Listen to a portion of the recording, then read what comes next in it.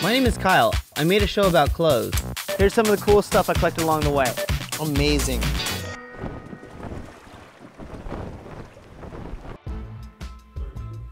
Today I'm wearing my punk leather jacket I got in Japan. I got this jacket from Ko. Ko owns a punk shop, Koenji in Japan. They're all inspired by UK82, which is a movement of Japanese punk style. When they wear their jackets, it's a very crusty, weird, fucked up way that they do it. You know, you'll see patches, you'll see bands names. They basically take leather jackets and rework them to make it their own. And the greatest part about this jacket is that it has no sleeves. Here you can see the studs, obviously. You can see the sleeveless details. Punk leather jackets are cool because they are one's own second skin. This is my second skin too.